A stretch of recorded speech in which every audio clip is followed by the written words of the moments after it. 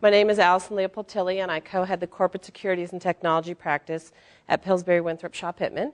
And we work from everything from the two entrepreneurs walking in the door with an idea, forming their company, financings, M&A, IPO, and beyond. So today I'm going to start at the very beginning.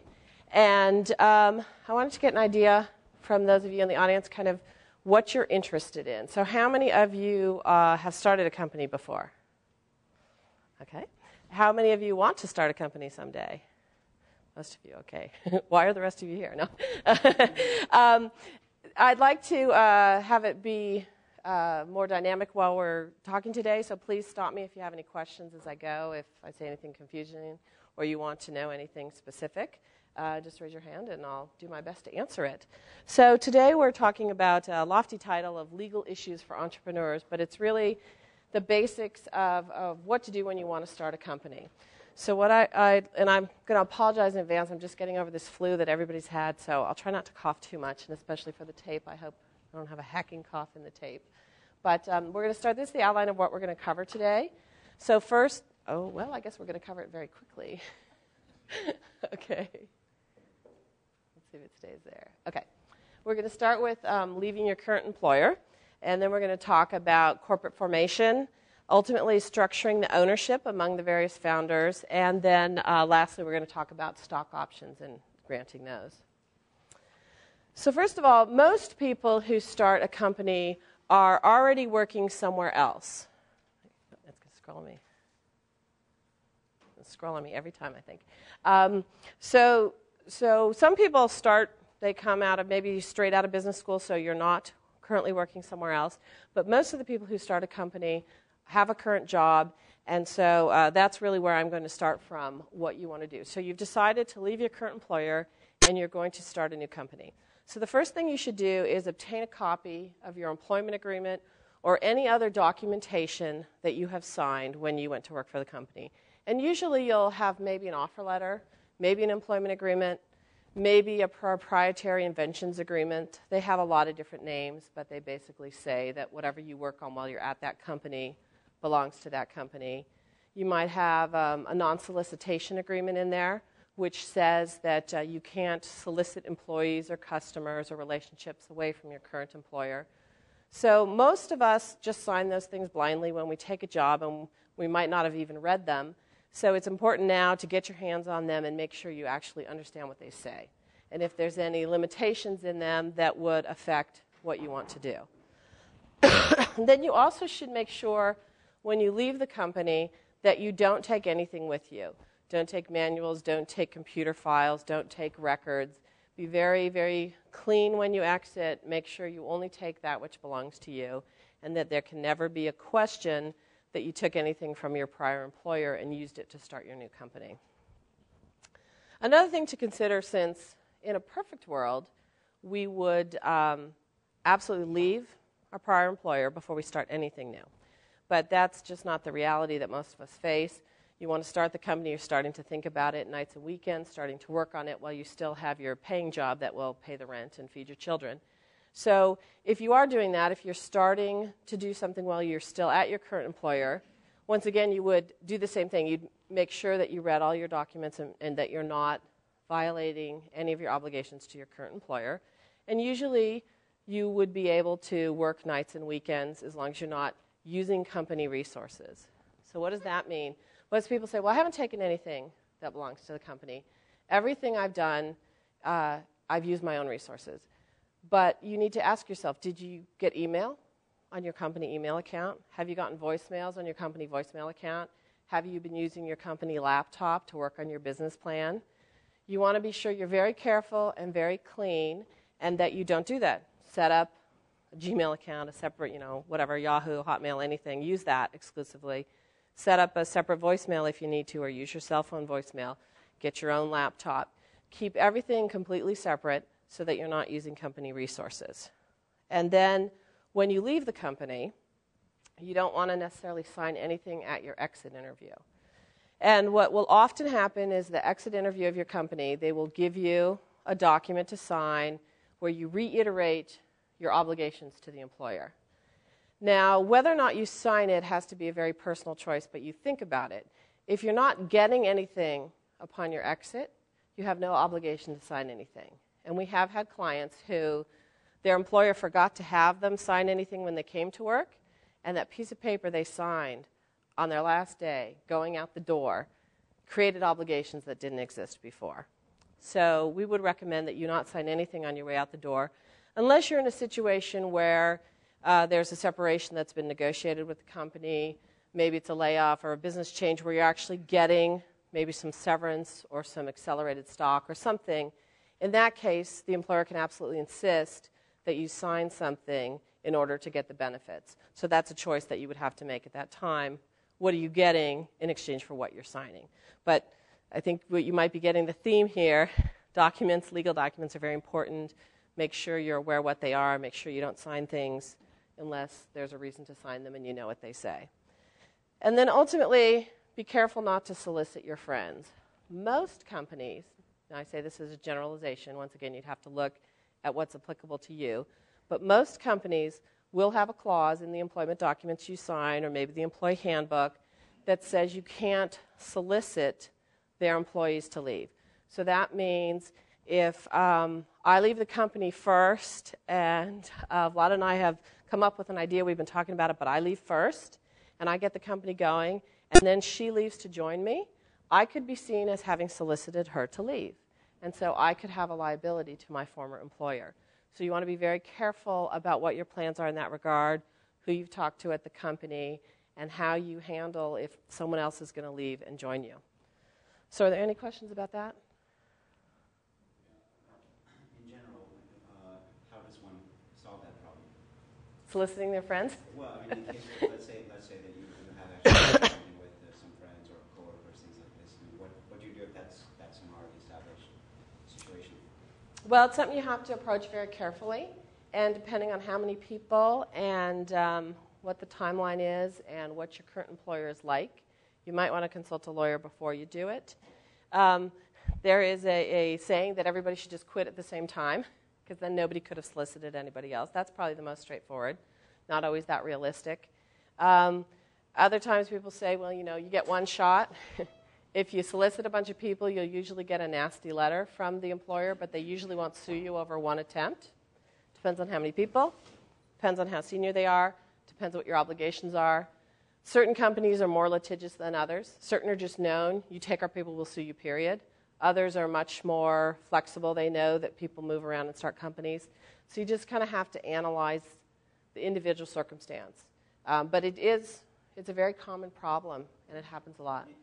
If into a non-competing area, you, you, should, you should still wait until you leave to, to actually create any legal entity, or it doesn't matter in that case? okay. Um, Let's talk about that in just a minute. That's a very good question that leads into what we're doing. Do you need me to repeat the questions for the tape, or do you guys pick those up? I got it. We you got it. Okay. Um, if your new company is in a similar field, under what circumstances might there be intellectual property issues with the old employer, maybe claiming that they own or there's no freedom to operate or something like that? And that's one of the things. So that's where it's the riskiest. If if I work at uh, a wireless company and I'm starting a new internet company, the chance that what I'm doing nights and weekends is, is overlapping or a problem with my current employer's IP is much smaller than if I'm starting a new wireless company. Um, you need to be careful. You need to understand what your obligations are. Uh, you cannot use company resources. You cannot use company time. And um, you are under California law. Your employer does not own your nights and weekends. Um, if you have a meeting on your new company, you should absolutely take, take your PTO, take your day off. Don't just leave for a few hours. Your employer might not mind if you leave for a few hours and do a personal thing, but you want to be very clear that it was not on your employer's time. And ultimately, it doesn't matter so much when you did it as to whether the IP you used to start it belonged to your employer. So you could actually quit and start a new company the next day and it doesn't mean you're okay if it's, if it's something that belonged to your employer. But certainly where there's an overlap with what you're doing now, uh, you have to be even more careful. Um, so if you, uh, you've been careful about this, but you know, upon exiting or about talking about exiting, there's an idea of a longer transition, and there's, you know, a chance, you know, in that case, you start to get that overlap after you already stated your intention. Is there any risk because you, you know, now are sort of crossing over that um, you're going to lose control of some of that work? Well, there's always You know a- what I mean? It's like, well, you know, stay two months instead of two weeks, and you can have, you know, some time here to work on it, which is pretty common, I imagine. There's always a risk when there's an overlap, and the bigger the lo- overlap, the bigger the risk. Uh-huh. So if you're staying to transition to, to be helpful to your former employer, Mhm. You want to make sure you don't fall into the category of what we call no good deed goes unpunished. you know, you're staying to help them, but it's, it's causing potential harm for your new enterprise. So the best way to do it is to be very upfront with the employer. Happy to help you, happy to transition. Here's what I'm going to do. Please sign this and tell me that you know I'm doing this and you have no problems with it. That's the absolute best. Um, if you can't do that, if your employer won't sign it, then you need to seriously ask yourself if it makes sense to stay and do the transition. And if you decide to do the transition but they won't sign it, then you need to continue to be extremely careful. So, all right, we've left our current employer, and now um, what are we going to do? We want to form a company. So, I'm going to cover. Um, I want to cover when to form a company, what type of entity, and talk a little bit about the location for formation. So, uh, first, when to form a company. Um, and want to see if I can get this to work. Okay. Um, in a perfect world, the minute you start a new venture, you form the company. So, I've got an idea right now today. I think I'm going to move forward on it, so I'm going to form the company today. And then I'm going to make sure everything's set perfectly from day one. But that's not very realistic.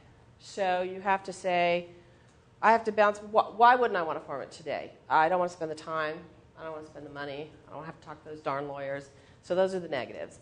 Um, the benefits are getting everything started right from day one. So you, you have to go along the way and figure out when the benefits and the detriments balance out to start something new. And I realize that's sort of a fuzzy answer.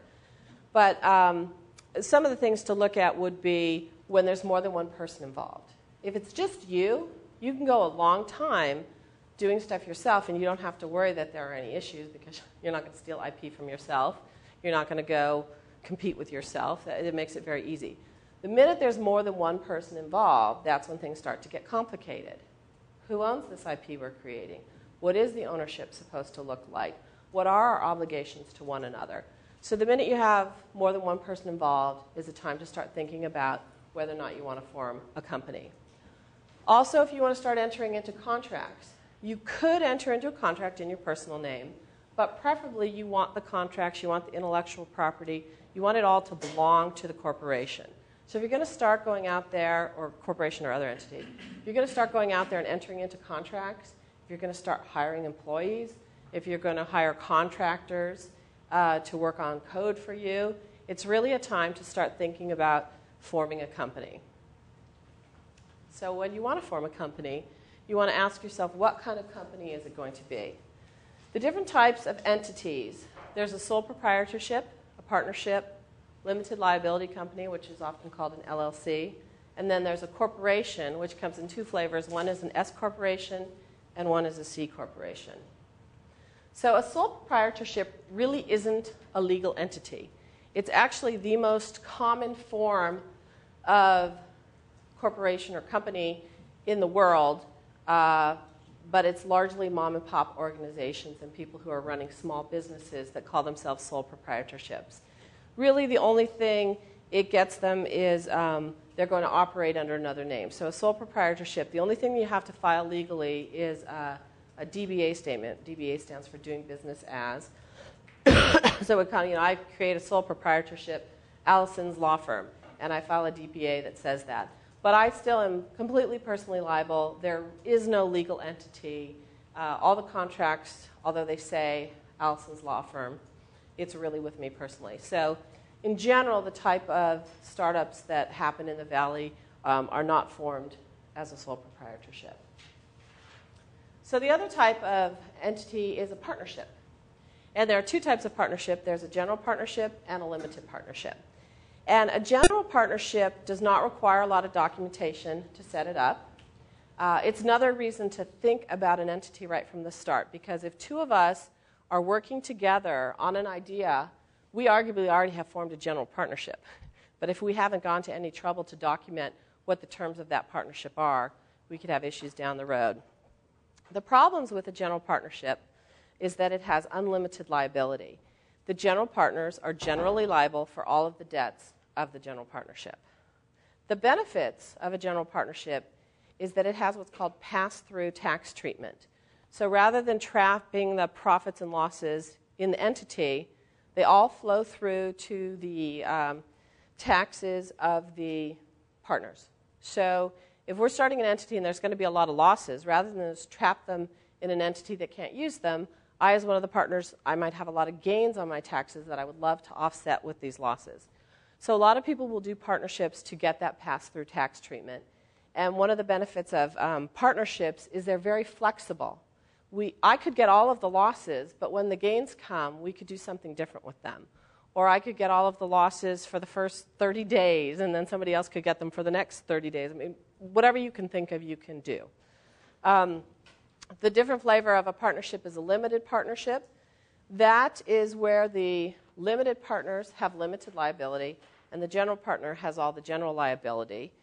It still has pass through tax treatment. it's harder to form in that you have to make more filings with the state, and you need to have a partnership agreement. And that's the form that most venture funds take. So, most venture funds, the investors are limited partners with limited liabilities, and um, then there is a general partner entity. A downside of the limited partnership is that in order to protect themselves and retain that limited liability, the limited partners cannot take, uh, participate in the management of the limited partnership. So if you're starting an entity where there's a couple of you and you're going to all be working together to build it and grow it, you really couldn't have a limited partnership because you're all going to be taking place in the management and operation of the partnership. So the next choice would be a limited liability company.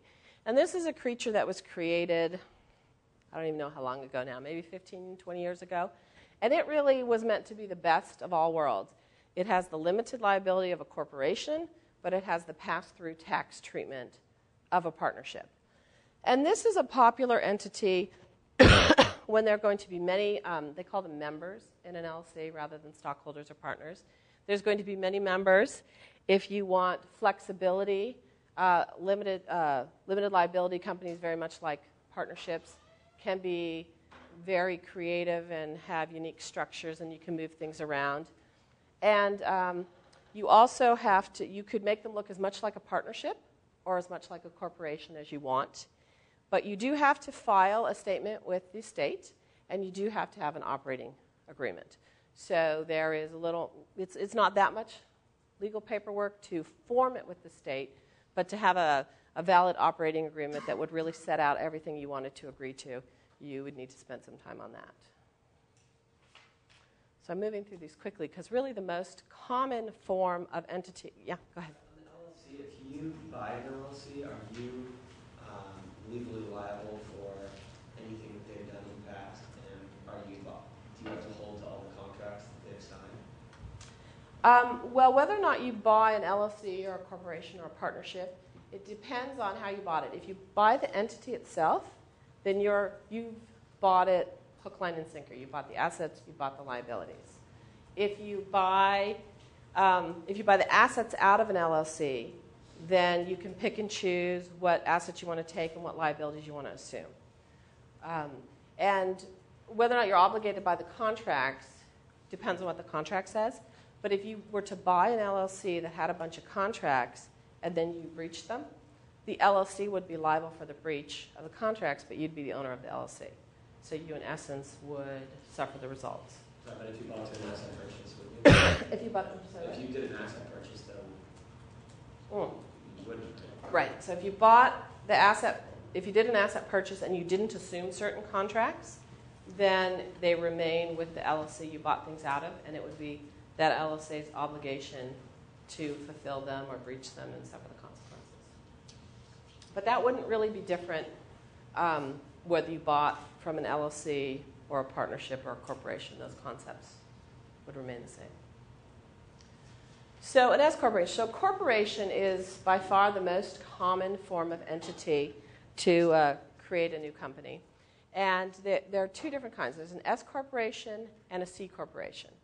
So, an S corporation, as a C corporation, both corporations have limited liability.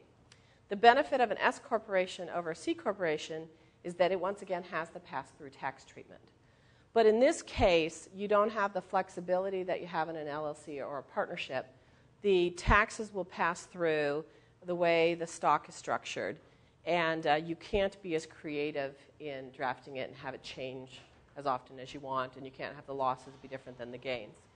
Uh, to be an S corporation, you must elect before the 15th day of the third month of the taxable year in which the S corporation is formed. Um, and the downsides of the S corporation is that they have a lot of restrictions. You can only have one class of stock. You can't have common and preferred. You can have no more than 100 stockholders. And the stockholders have to be individuals. They have to be U.S. citizens, resident aliens, or eligible trusts or estates, which tend to be trusts or estates that uh, trustees are U.S. citizens or resident aliens. So for a lot of companies, might, they might want to have an entity as a stockholder. They might want to have common and preferred stock. They might have foreign nationals who are part of the founding team who they want to get stock. So those are some of the problems with forming an S corporation.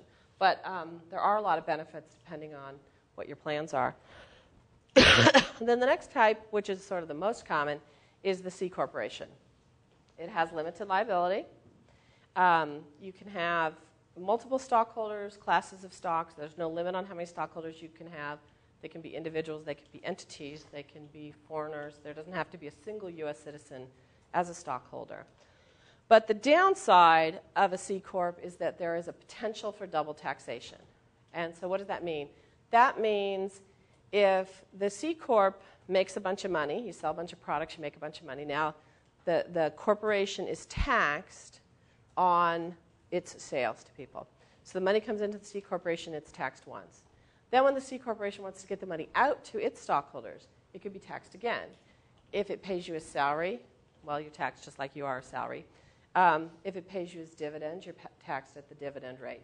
So there is an issue that the proceeds and profits can be trapped in the C corporation and you can't get them out with paying an additional level of tax.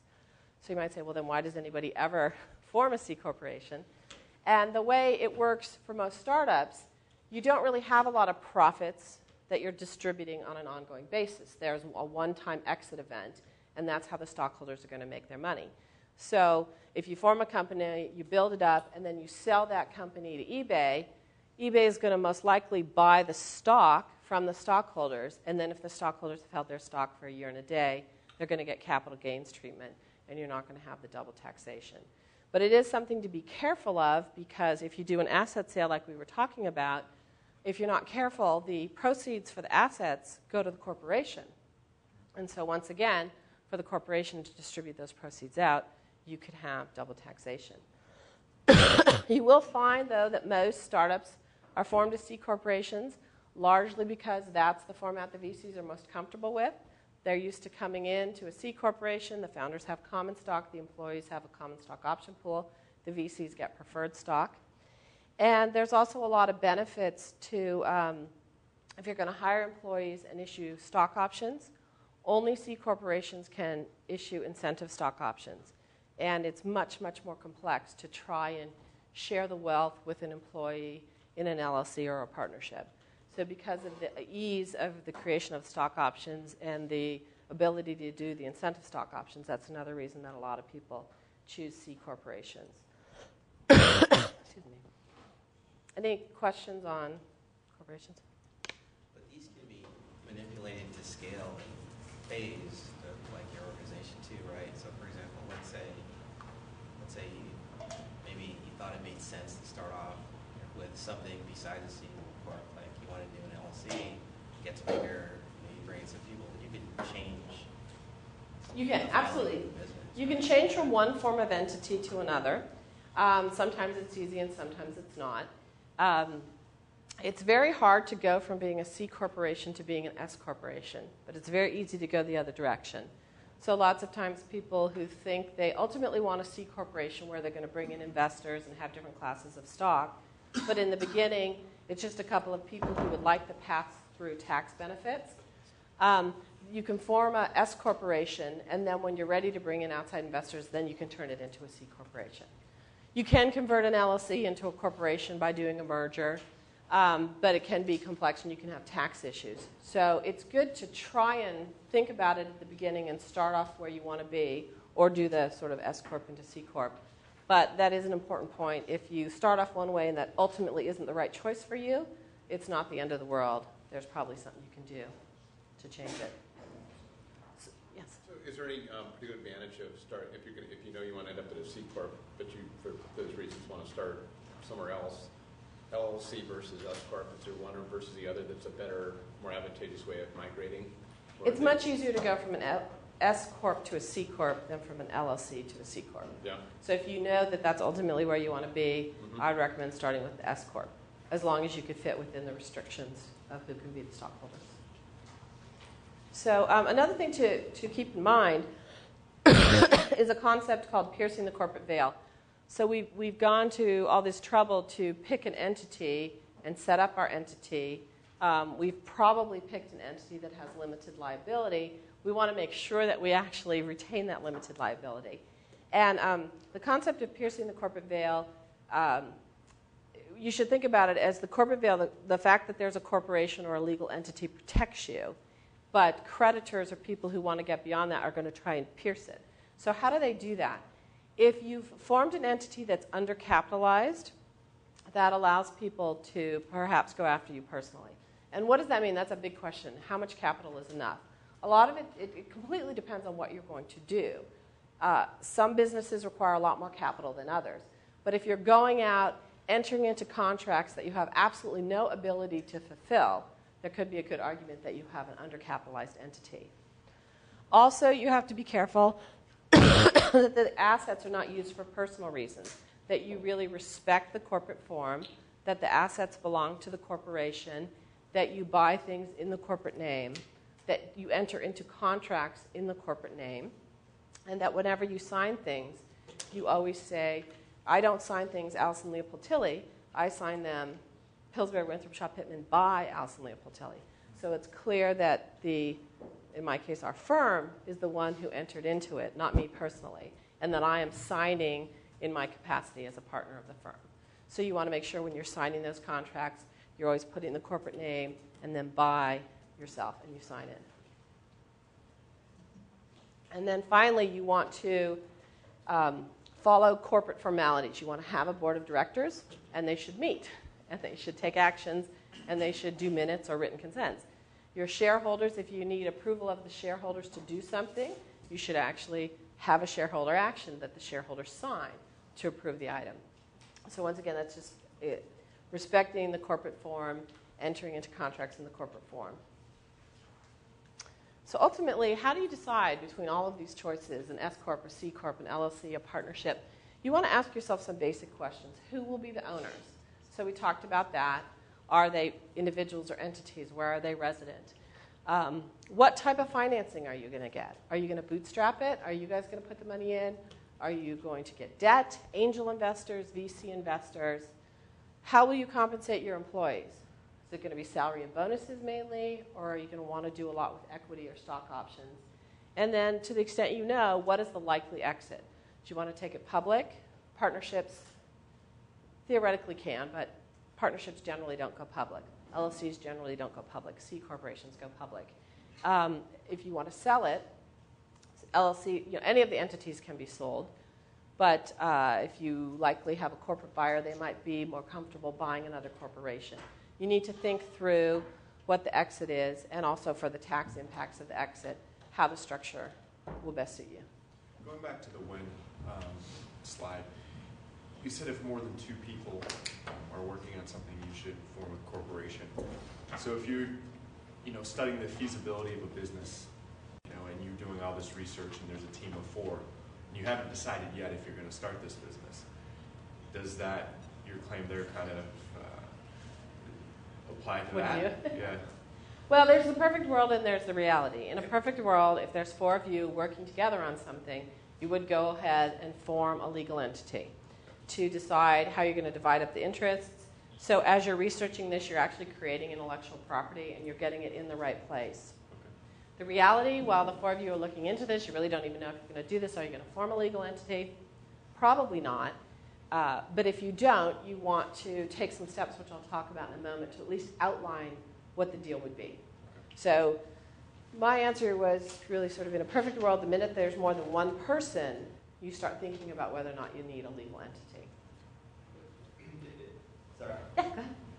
If, if you decide that you're safe acting, acting as an individual for some period of time, um, are there things that you should do that'll make it easier when you do make a transition to uh, a corporation? Um, for example, you said that you eventually want to buy things under a company name or sign things under a company Right. name. So is it helpful to have a separate credit card or little, little things like that to, to make that transfer easier? Yes, definitely. The more you can keep things segregated so you know what things are ultimately going to be in the company, what are going to be the assets and the IP, and what are the obligations that you maybe personally want to be uh, repaid for. The more separate you can keep it, just easier it is to track all of it and the better records that you have. Certainly, um, when you ultimately form the entity, you want to be very careful that you think to put in everything. For instance, we had a company where as you can imagine, four entrepreneurs started a company, they did a bunch of work. What, what's one of the first things you do? You might think of a name, and you go and you find out if the URL is available, and you reserve it or register for it. Well, if you don't have a company, you can only do it in an individual name. Then a while later, they formed the company. They didn't really think about it. They issued their stock. Ultimately, one of the founders was asked to leave. They raised money. They had a great offer on the table to buy them. And they were a company where branding and name was important. Well, the URL was still in the name of the founder, and guess what? That was the founder they fired. So they had a, you know, he wasn't really going to give it up very willingly. So that's something that you can easily see getting forgotten. You know, you registered for that URL a year ago, and you don't even really think about it, you're just using it. So the more you can keep your records very clean and clear and, and make it easier to transfer it in, the better. A little bit, of a related question. If, if before you formed a corporation, you were just kind of together on something with no actual formalized agreement or anything like this, and then you, uh, you know, you have some kind of common understanding, and then you create a corporation. Does the corporation actually inherit those discussions? Or are there actually the people who are kind of taking the risk because there's no, uh, you know, the obligation? There's there's no real obligation in that case. Well, the, the corporation doesn't just automatically inherit things that aren't contributed into it. So if you've had conversations and you've done a lot of research and you've drafted a business plan, you want to take steps to make sure all of that now belongs to the corporation and that all those involved have assigned their rights to it. And you have to spend some time thinking about it. obviously every single piece of paper you've created is not necessarily that important to the corporation but usually it's best to deal with it in a more global range all ip related to this project now belongs to the corporation I have a question back to actually ask. So if you are some people working on feasibility, and part of feasibility is to do contracts, what are some things we can do? Because we formed a a corporation. Basically just signing our names. okay So what, what can we do to kind of mitigate the risk for? well right now if there is no legal entity the only party that could enter into the contract would be the two individuals so you could if you wanted to make sure you both had ownership rights in that contract you could both be signatories to that contract with the third party you would want to make sure that the contract said it was assignable at your choice because contracts often have provisions in them that say whether or not you can assign them. So if i enter into this great contract with you and now you form a company and you want to sign the contract into the company and i feel like i didn't charge you enough i might use that as a leverage point to not give my consent for you to be able to transfer it into the company and you would argue but wait a minute. The company is the same two people you entered into the contract with but it is a different legal entity. So you can protect yourself that way by making sure that the contract allows you to do what you want to do in the future. Now you can't protect yourself personally from liability. To the extent you enter into a contract and you agree to pay me a bunch of money, it's between me and you, and I can come after you personally if there wasn't a legal entity in between us. I was just curious about the point that you, you began with, the veil of piercing the piercing the corporate veil. Right, and, and um, how much someone would open themselves up to. As far as, so let's say even on the basic stuff, you know, let's say kind of ground up, just all the drudgery, you're, you're filing paperwork with the state or with the, the government, you know, trademark things, patent things if they're there. Um, those things should be in the name of the corporation or the entity that you're going to do and not in your own name yes. as well right? And is there, is there a definite disadvantage to doing it in your own name initially, um, as far as transferring it to the corporation later or changing, you know, the thing? Is, like, do, you- do you, do you set yourself up improperly if you do it that way?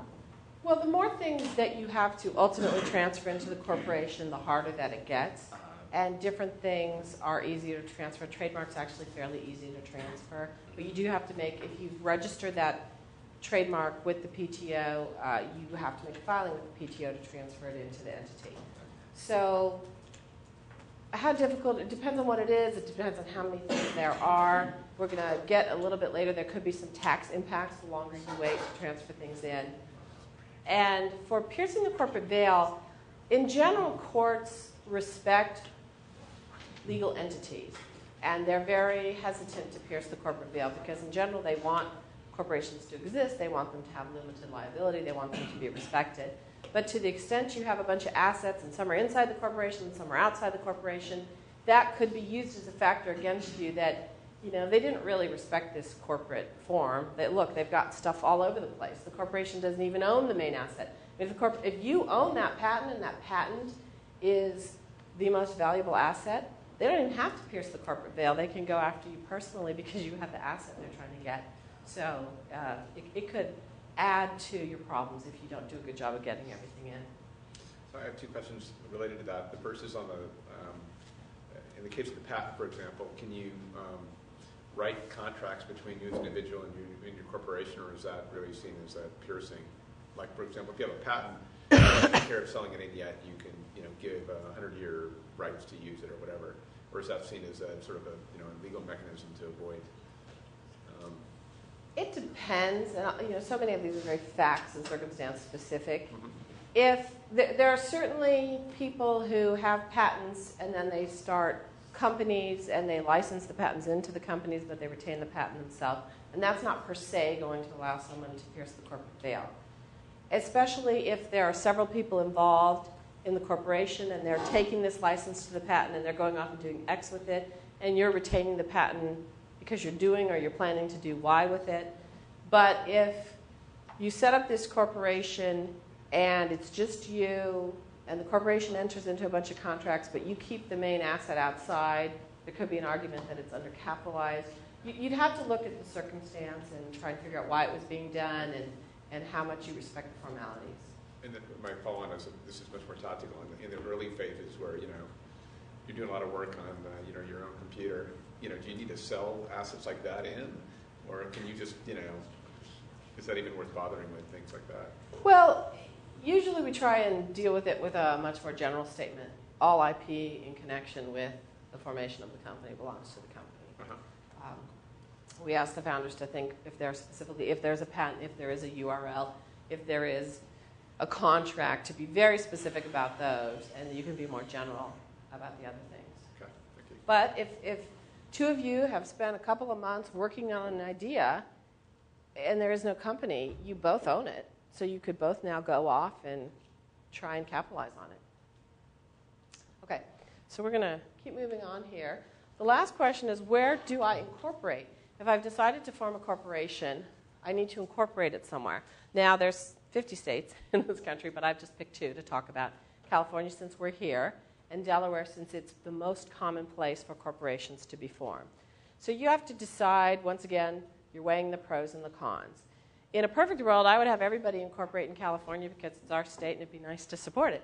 Um, but Delaware actually has made its business out of making life easy for corporations. They make it easy to form a corporation, to file things, to work with them. They have a very well defined corporate code and case law. It's very favorable to corporations, it's favorable to officers and directors.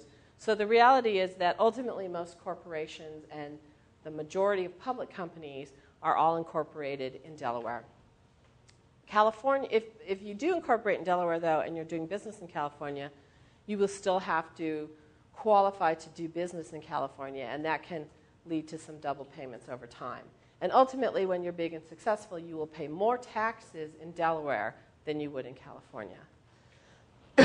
so some of the benefits to California is if you're operating here and you form your company here, then you're not having to double pay and pay Delaware as well. Some of the downsides to being in California is that it's much harder to work with the California Secretary of State when you want to make changes to your articles and make corporate filings. I got some heads nodding here. Anyone who's dealt with California knows that. Um, there are different voting standards on mergers in California than there are in Delaware. We could talk for probably half an hour about the differences between California and Delaware, so I won't bore you with that. But I'll just throw it out there that it's something to think about carefully. Once again, it's not something that can't be changed. If you're a California company, you can reincorporate into a Delaware company. If you're a Delaware company, you could reincorporate into a California company. It's just if you spend some time in the beginning thinking about what you want, you can save yourself time and money later. Does there, does there need to be some proxy in Delaware or something? How does that actually work? If you form a Delaware company, you need a registered agent in Delaware, but there's lots of companies who are willing to do that for you. They charge about $125 a year, so it's fairly reasonable. They will act as your agent for service of process, and um, they will do that. I really, um, I, I really wish California would get a little more friendly to corporations, but unfortunately now Delaware has such a big head start with their extensive body of case law, and it just keeps growing stronger and stronger. That they really, uh, they have focused on that as a revenue source for the state. I have one question on the, the, the California aspect of it, because I looked a little at it, and it started to confuse me the more I did, in the sense that, as far as the cost, you know, I think like, oh, it's ultimately cheaper in the beginning to file In Delaware? Delaware, from what it seemed like to me, and then it got more comp, more expensive if you wanted to do business in California at that time. Because let's say, let's say um, you start off, it seemed like there were fees just to establish. I forgot the term that they used, but just just to sell stuff in California, and also kind of the fee that they would charge you to to uh, well, the fee that they would do to do that. You know, like to conduct business, how much it would cost you. Um, Well, it costs about $800 a year in California. That's a franchise tax that's due every year. right. It's um, your first year. It's included in your filing fee, so don't form your company in December because Yeah. then you're going to owe it again come January. Um, there are certainly filing fees when you file things with the Secretary of State. There's fees involved, but they're not huge. You can, if you want things quickly, you can end up paying several hundred dollars to get things on expedited basis. But um, in general, the main fee is the franchise tax that's every year. In Delaware, so if you're if you're incorporated in California or if you're qualified to do business in California, you're going to pay that same $800 every year. Delaware, um, you pay your taxes based on your assets and your outstanding shares. There's a complicated calculation. In the early years, it can be it could be 50 bucks, but ultimately, when you're a big successful public company, you're going to pay way more in taxes in Delaware than you would in California. I guess what I was getting at is that, is that I read something about a fee for if you're incorporated somewhere else, but you're conducting business in California, besides the franchise tax fee of eight hundred dollars, like set up your corporation that you would do if you had it set up just in California, that there are other fees that California would charge you to conduct business in the state if you're incorporated elsewhere. Is that? I'm not familiar with what you're referring to. I mean, if you register, if, if you if you're not incorporated in California and you're doing business here, you're supposed to qualify as a foreign corporation and register to do business in California.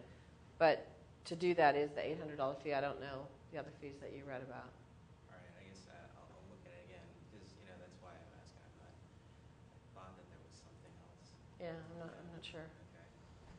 To, to use it in losses as a tax shield against your personal taxes, you need to at least have enough basically to cover the eight hundred dollar fee. Is that uh, the, or are there other ways of using sort of expenses business? so I don't want to go too far down that path because I'm not a tax lawyer. And your ability to use losses to offset gains, it depends on the type of losses and the type of gains and very much on your personal tax situation. But the cost of a company, the $800 to set it up, anything you pay employees, you know, the cost of registering your URL, those are all costs of the company that ultimately can lead to losses and might be able to be offset against things. But you really want, want to check with an accountant because you can't just, it's not as clear as taking all losses and just setting it off against your income. Yeah. Um, what if you're talking about an international company that is going to be doing business in many different countries, not necessarily in the U.S.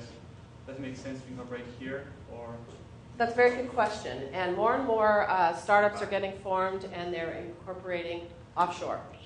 You have to look at it. Once again, it's one of those questions of trying to start things right from the beginning. There's a lot of companies that are formed in what are known as tax havens, the Cayman Islands or the British Virgin Islands. And that will often happen if maybe most of your investors are going to be offshore or most of your business is going to be offshore. You could start off uh, forming offshore right from the start. There's a multitude of reasons for doing that. It can lower your overall tax rate. If you have foreign investors, many of them don't want to have anything to do with the U.S., and so they're very reticent to invest in a U.S. company. So you have to think about what the plans are for the company. What we see often is someone incorporating in the Cayman Islands and then they incorporate a Delaware subsidiary, and that's who the U.S. employees work for. And then there's often a contract back and forth between the Delaware company and the Cayman company. You want to think about what your reasons are for incorporating offshore. If you're trying to keep your IP offshore, you want to make sure you do that very carefully and enter into the right contracts.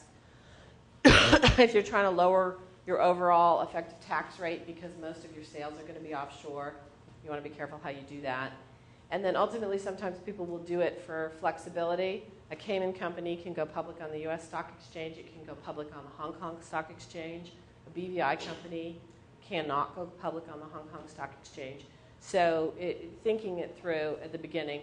But it's a good point because more and more companies are starting with entrepreneurs in the US, but with a much more global reach. And so, starting a, with a US company right from the start might not be the right choice. Okay, so now we're going to move on. We've formed our company in um, California or Delaware. We've decided, let's say we've decided to form a C corporation. That's really what I'm going to talk about going forward since that's the most co- common form for the startup companies. So you need to think about what you need to do. You need to have officers and directors, and you might want to have an advisory board. so the required officers, you must have a president, a treasurer, and a secretary. That's true for both California and Delaware. I can't speak to all 50 states, but it's pretty common. Those tend to be the three roles that you need to fill. It can be the same person, so I could have all three titles, or we could have three different people, or I could be the president and the secretary, and someone else could be the treasurer. It's just that you need all three offices filled. And then we can have as many different titles as we want. I could be the chief Yahoo, as they have at Yahoo. But those are the three required officers that you have to have. And then you want to ask yourself, how many directors do I need? In Delaware, you need at least one director. In California, you need one director if you have only one stockholder, two directors if you have two stockholders, three directors if you have three stockholders, and that's where it stops. So if you have four to a thousand or however many in California, you still only need three directors. So that is the required number, but you also want to ask yourself what is the optimal number?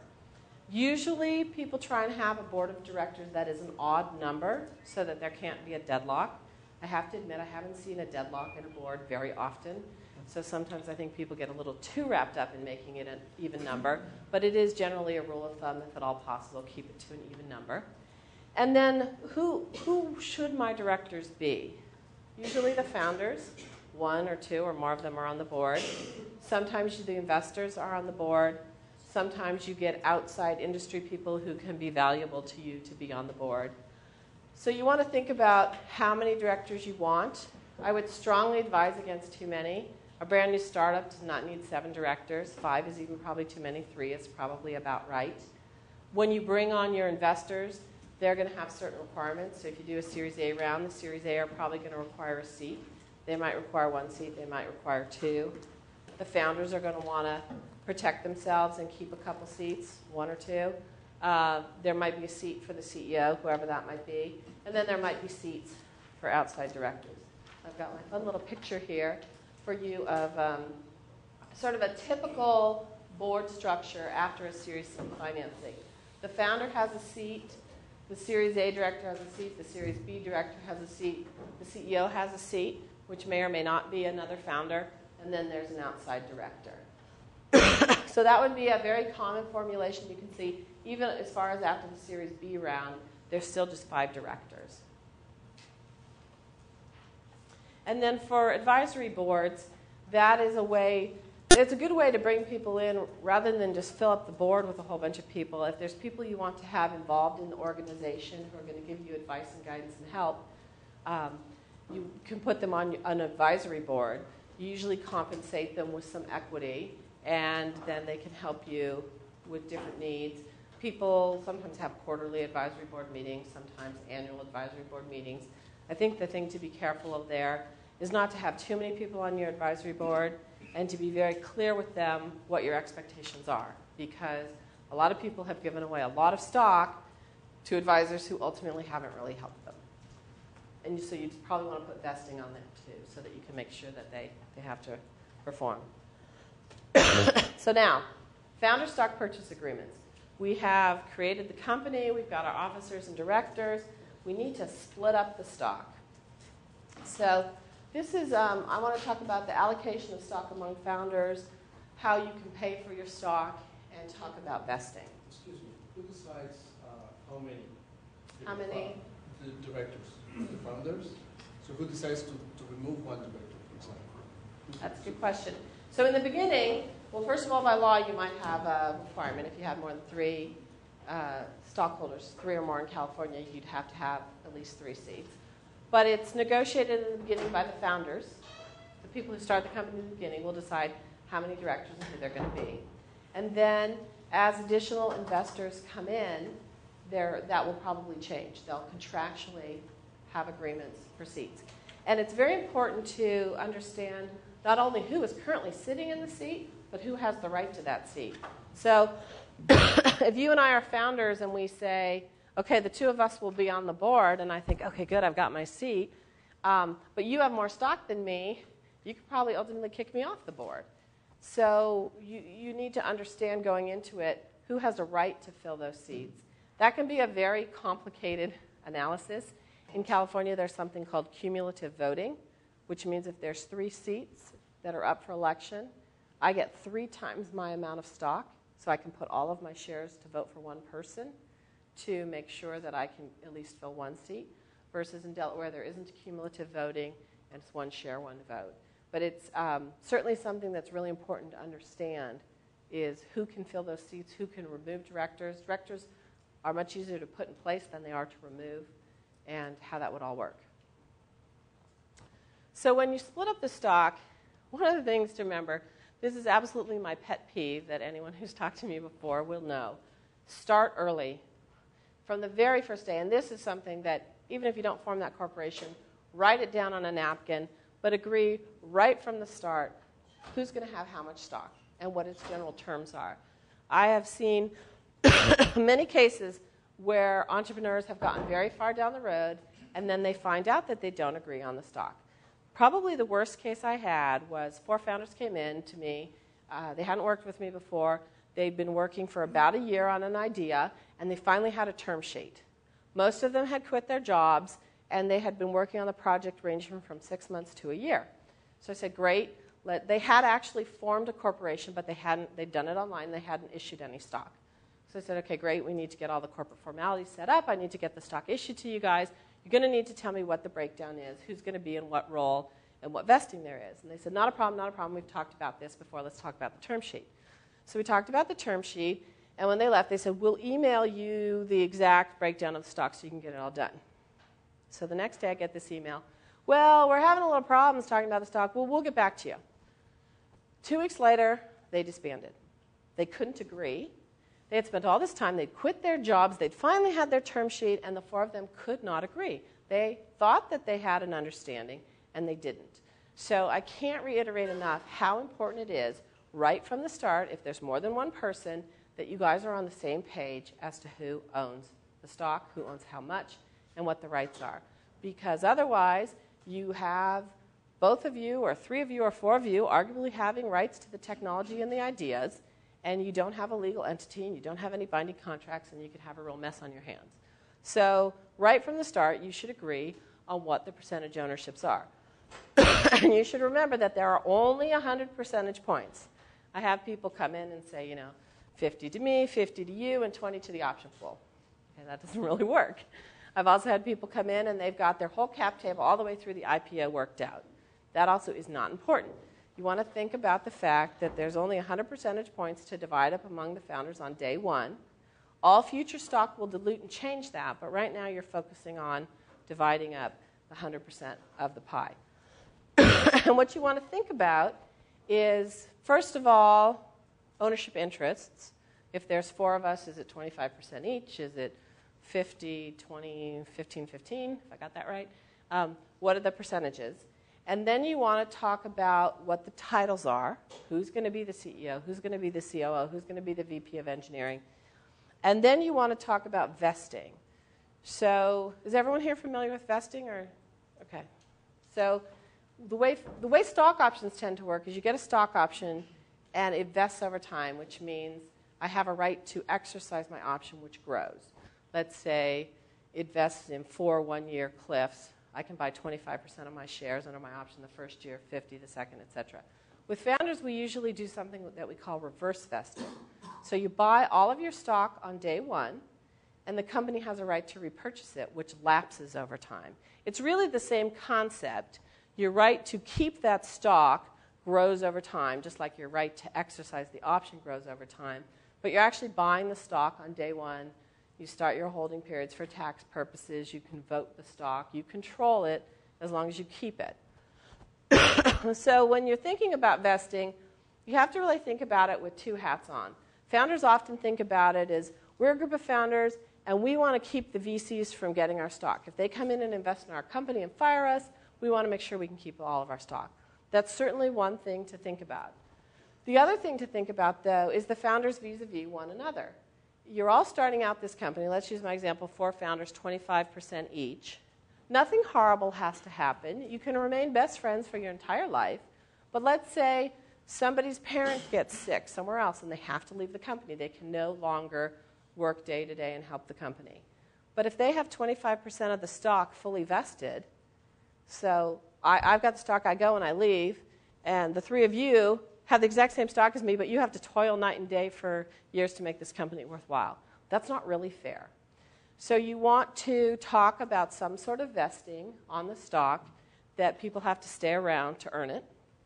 It gets very complicated because there can be discussions about how much is vested on day one. You could start out where nobody has anything on day one and it vests monthly over four years. That's pretty straightforward. You could put a one year cliff in there, like there is for many options, and like you'll probably use for your employees in the future, because maybe the four of you haven't really worked together before, and you're worried that you might not ultimately end up working out or staying together. So you might say, well, let's, let's say nobody can actually earn anything of their stock for a year to make sure that this is really going to gel, and then at the end of the year they get their 25%. You could start out and say, this person brought the patent into the equation. So we're going to give them 20% vested day one, and their rest vests over time, and the rest of us are going to start at day one. As you can see, it can be as complex as you want it to be. It's just really important that you figure it out from day one. Does anybody have any questions on that? Everyone's got founders stock investing down? That's impressive. okay, so, and so you're all going to figure it out right from day one, right? Because you all understand this. Um, so, how are you going to pay for your stock? Oh, I guess you're not. Okay, the legal forms of payment for stock is clearly cash. Cash works, actually. You can write a check, you can pay green cash, you can um, wire money. There can be cancellation of debt. Maybe you've um, paid that $800 to the state out of your own checkbook. So you're going to, that's a debt the company owes you. You can use the cancellation of that debt to pay for your stock. You can use past services to pay for stock. You cannot use future services to pay for stock. So if I've done a work, bunch of work in getting this all set up, I can use that, but I can't get stock for the promise of future work. And I can also contribute assets. I can contribute computers, hard assets. I can contribute soft assets like IP. I can contribute patents, anything. So it's fairly easy to pay for the stock, but you want to make sure it's done, and you want to make sure it's done right. Even if you're only paying a dollar for the stock, if you can't prove that you ultimately paid that dollar, you might have problems proving that you own that stock at the end of the day. We've had that happen. A company gets started, the founders form it off on their own. It's minimal purchase price, they never actually pay it. And then when they go to sell the company, they can't prove that they own the stock because they can't prove they paid for it. literally taking your dollar bill and photocopying it on the photo machine and sticking it in the file. That's proof, but you want to have proof. We usually recommend that you write a check because that's a little easier than copying dollar bills. But be sure that you actually take the action and you pay for your stock. You also want to think about the tax impacts.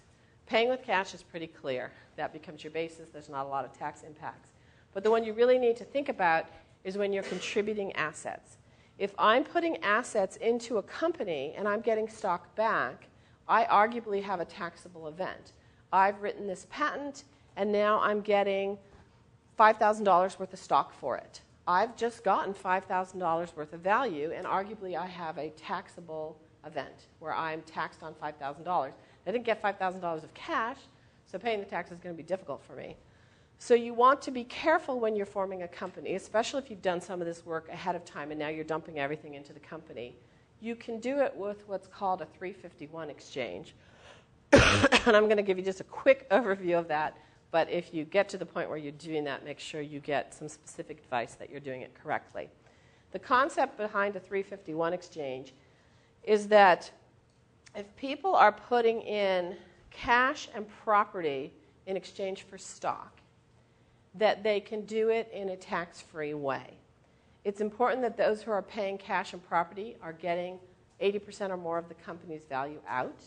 It does not work if someone is putting in services they can be putting in services for that 20%, but, but services don't count. It's, it's, it's cash and property. and it can be, it's largely solely in exchange for stock. There is some ability to get a little bit of cash out. But the point being that you need to do it very carefully, otherwise, you can have some unintended tax events. Something as simple as just saying, we contribute all the IP in the company and we each get this many shares of stock seems pretty straightforward and then suddenly you find out that you owed some taxes you didn't pay. Go ahead. Is this usually the same trip to the lawyers as, as incorporated? You usually do this all, all at once? Yes. Yeah. Because normally what happens is that you incorporate the company and you issue that stock on day one. So what we would do is we would sit with you and we talk about everything, you know, talk about the formation and the form that works for you, talk about the founder stock, talk about what you might have outside the company that you want to get in, and then it would be done all as one event. And that's also important for a 351. It all has to happen at the same time. So, like I talked about earlier, when you're doing this, make sure that no founder holds IP individually, that you got it all into the company in connection with the issuance of this founder stock. And then don't forget the 83B election. what that is, is if you get stock that's the magic words under the tax code are subject to a substantial risk of forfeiture, you will owe taxes as that stock vests. So I get a thousand shares of stock and it's worth a thousand bucks. That's what I paid, but it vests. So on year one, 250 shares that I paid $250 for vest. Let's say they're now worth $2 a share. So when my 250 shares vest, I actually owe taxes on $250, the $1 gain in my stock. And then a year from now, another 250 shares vest, and those are now worth $5. So I'm taxed on the $4 gain. And I don't have any money to pay those taxes because I didn't really have an exit event. Just under the tax laws, I had a tax event. So that's a really bad consequence. Obviously, for $250, you could probably manage it, but hopefully, you have a lot more stock that's growing with a lot more value. So, what you can do is when you get your stock, you have to file something that's called an 83B election. It's due within 30 days of when you got your stock, period. There's no extensions, there's no exceptions. It's a very draconian rule. So, it's the one thing you must never forget. We have literally had people who would exercise stock at a company, forget to file their 83B, and then come to the VP of HR and say, I can't afford to work here anymore because the company is doing so well. My stock is growing so quickly. The taxes that I'm owing on a quarterly basis for failing to file my 83B are, are a real problem for me. So it, it can have a very bad impact, and you want to make sure that you, you just don't let that happen, that you don't forget your 83B election. So, and any um, more questions on payment for founder stock? So based on what you said, it sounds like, assuming you're, you know, going to be working on something that's adding value, um, that uh, any kind of vesting schedule is kind of a disadvantage versus issuing stock right away. Um, You mean because of the 83B issues?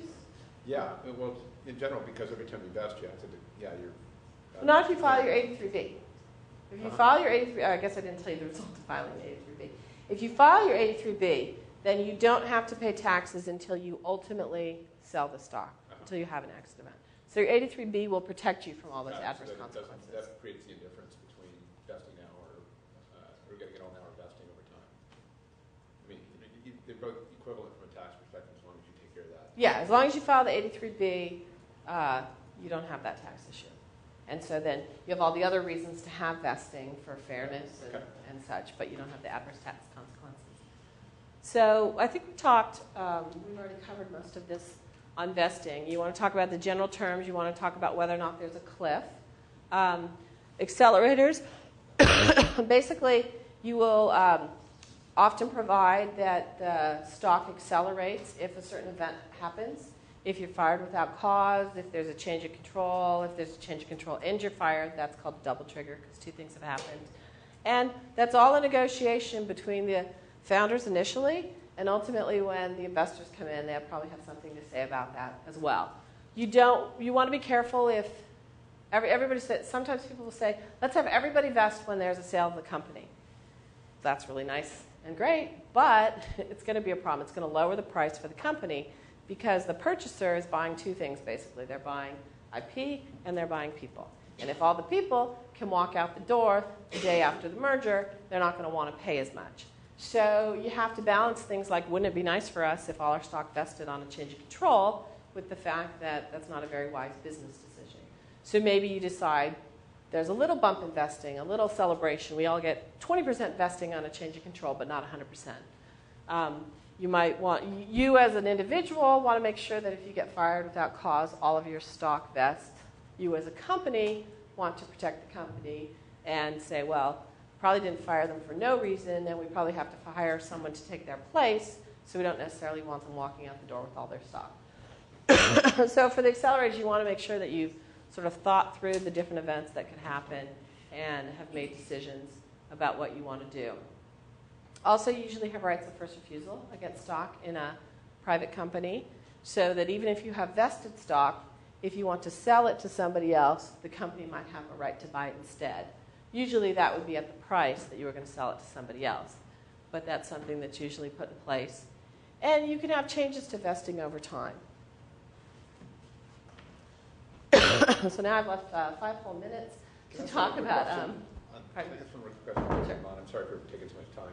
Um, Can you put in, uh, uh, can you put in language about um, uh, restrictions over, uh, you know, if you have three, four partners in an S corp or a C corp, whatever, that you can, uh, aside from the right to buy it back, you can simply restrict their ability to sell. So if a partner decides they want out, they still want to sell to somebody that you just paid, you know, You cannot have, um, it's not legal to have what's called an absolute restraint on alienation.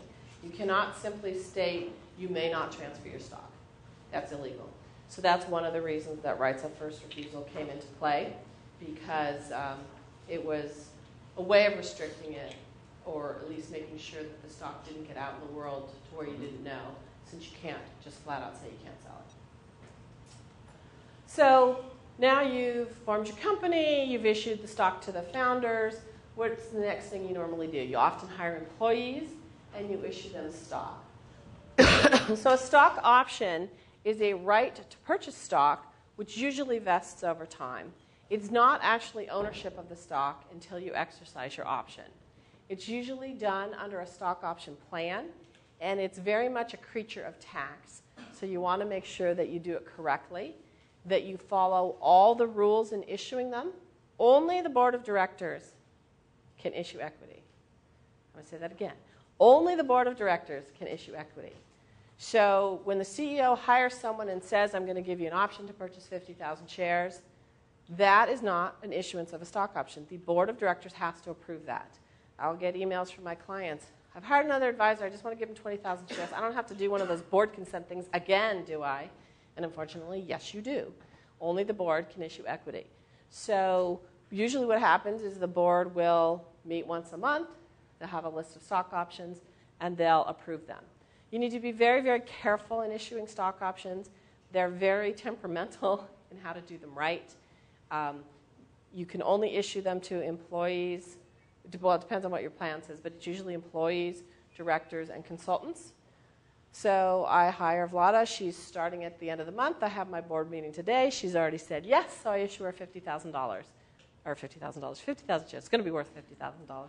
And the board approves it. I'm good, right? Well, no, because she's not an employee today. she's accepted the offer, but she's not an employee today. So I merrily go along my way, and then when I go to sell the company, I find out that Vlada got stock today on February 26th, and she didn't start until March 1st. What does she have? I thought I gave her an incentive stock option. She doesn't have one. So it's something to be very, very careful of because the rules are very tricky. I say beware of idle promises because a lot of people along the way make promises right and left. Help me with this, and I'll give you some shares. Help me with that, I'll give you 1%. What does that mean? 1%, 1% calculated when? Um, so we often find people who show up and they've made so many promises and trying to extricate them from them or even figure out what they're supposed to mean can be extremely difficult. You really want to understand when you make a promise of 50,000 shares is that 1% of the company? Is it a half a percent of the company? Is it 10% of the company? You shouldn't think of it just in shares or numbers. You should think of it in percentages. And you should also budget it out. That also helps you from giving away too much. If each individual hire you're giving away options, but you've never really looked at the whole picture of who you need to hire and how many shares it's going to take, you can often find yourself in a position you don't want to be in. uh, more and more common these days is something called restricted stock, which is instead of options. That tends to be more at the public company level, but that is where you generally tend to make an outright stock grant. You don't have a price to pay, an exercise price like you do with an option. I'm giving you a set number of shares. They can still vest. Um, usually you get less restricted stock than options since you don't have to pay anything. Um, all options need a price when they're granted. Once again, you need to think of vesting and whether you can have early exercise.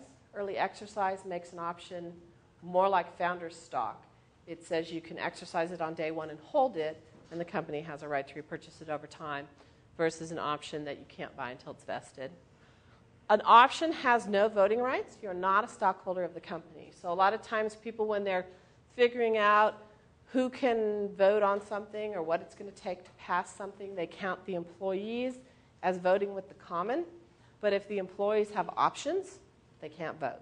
So, you have to keep in mind when you're calculating the votes that you have to take the options out of the mix. um, how much is enough? That's always a question that you have to ask yourself. But once again, you can deal with that if you think about your budgets and your percentages. And my last point on stock options is there are no secrets. You have to assume that all of your employees are going to find out what everybody else has. It almost always happens. It often causes problems. So you want to make sure that you've thought through that and you understand that if you're giving people different amount of shares, they're going to probably know about it, and is that going to cause you problems? And to the extent you want to limit how many people know, you need to treat the options and the paperwork very carefully. So, any um, questions about stock options in general? I know we kind of went through that quickly. and lastly, when you hire these people, you want to um, you want to have them sign an offer letter. My first question: Why can't everyone work for free? Steve Jobs works for a dollar. Isn't that okay? No, it's not okay. Apple's violating the law. The Department of Labor does not care. they might care if you do it. So, under California law, you must pay minimum wage. Certain uh, level of employees, you must pay double minimum wage. Um, I know you've all got tons of friends who've started companies and they didn't pay anybody. It happens all the time, but you just have to understand that there are risks involved with it because it is technically a violation of California law. you do want to have offer letters with your employees. California is an at will state, but if you're not careful, you might create employment that's not at will. At will means you can fire somebody at any time for any reason. So you want to make sure that when you're bringing on employees, you carefully document it, you give them offer letters, you say that they're at will, you make it clear what their obligations are. You want everyone from day one, including the founders, to sign a proprietary inventions agreement And what that is, is that's the agreement that you've probably signed with your current employers that say that the company has a right to all IP that is created while you're at work and uh, has the non-solicit and other things.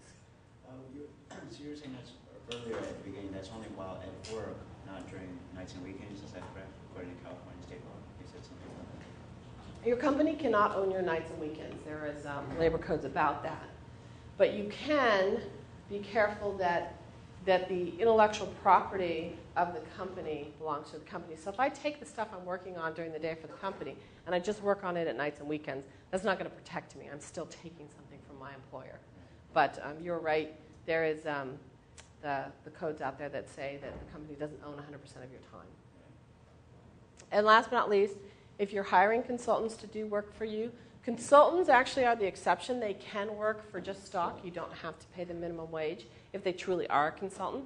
If they work for you 50 hours a week and they don't work for anybody else and they come to your offices every single day and they use your facilities and equipment, they're probably not a consultant.